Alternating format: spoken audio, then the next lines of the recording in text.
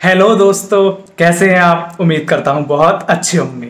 अभी अभी मैं जस्ट आपके लिए लेके आ रहा हूँ एक ब्रेकिंग न्यूज़ आप लोग बहुत दिनों से इस न्यूज़ का इंतज़ार कर रहे थे और शायद आपके मन की न्यूज़ आ गई है। जी हाँ मैं बात कर रहा हूँ सी हूँ सीबीएसई 2021 के फाइनल एग्ज़ाम की, यानी कि बोर्ड्स एग्ज़ाम की।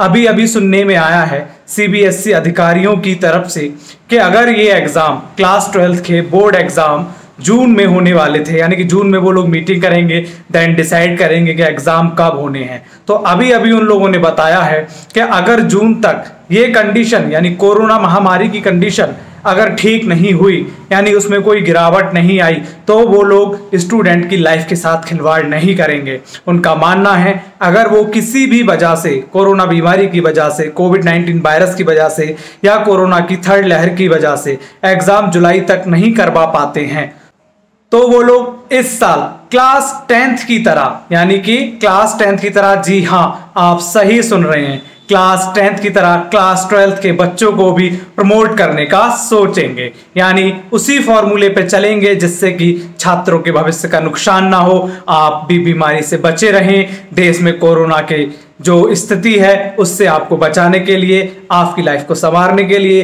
और आपके फ्यूचर को बरकरार रखने के लिए क्लास ट्वेल्थ के बच्चों को भी प्रमोटेड किया जा सकता है। हालाँकि ऐसा अभी कहा है, अधिकारियों ने, ये पॉसिबल है या नहीं, ये पता लगेगा एक जून के बाद या फिर जुलाई के लास्ट में। तब तक बने रहिए मेरे साथ, लेके आऊँगा मैं आपके लिए हर दिन सीबीएसई e से रिलेटेड आपके एग्ज़ाम से रिलेटेड नया टॉपिक नई जानकारी, नई अपडेट लेटेस्ट न्यूज़ बने रहिए, आनंद राज केमिस्ट्री के साथ मास्क लगाइए, हाथ धोइए और डिस्टेंस का पालन करिए।